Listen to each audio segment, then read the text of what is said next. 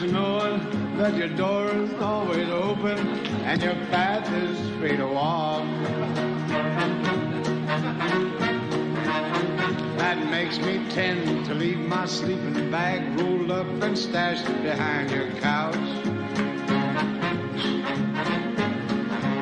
Well, it's knowing and I'm not shackled by forgotten words and bonds and the ink stains that have dried upon some line.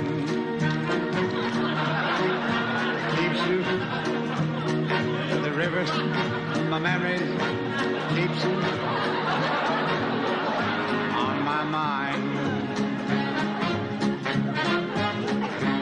Oh, it's not clinging to the rocks and ivy planted on their columns now that bind me.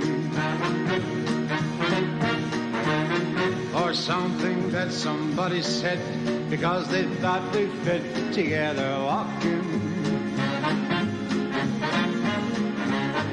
It's knowing that the world will not be cursing or forgiven when I walk along some railroad track and find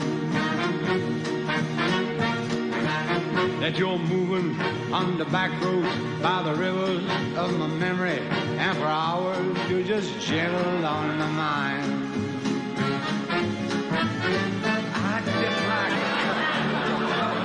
Back. From the gurgling crack south in some train yard. My beard a rubber full pile and a dirty hat full load across my face. Two cup hands round a tin can, I pretend I'll hold you to my breast and find that you're